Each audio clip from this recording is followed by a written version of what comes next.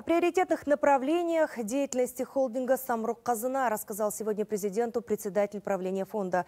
В их число, по словам Нурлана Жакупова, войдут реализация инвестиционных проектов, поэтапный отказ от кросс-субсидирования экономики компаниями фонда, IPO, выпуск высокотехнологичной продукции и привлечение прямых иностранных инвестиций.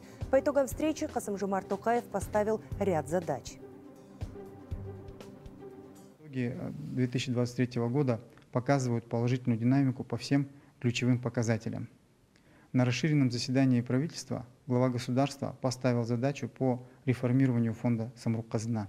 Мы провели соответствующую работу и разработали план по пяти направлениям. Работа по вышеобозначенным пяти направлениям позволит внести соответствующую лепту и вклад в удвоение ВВП к 2029 году.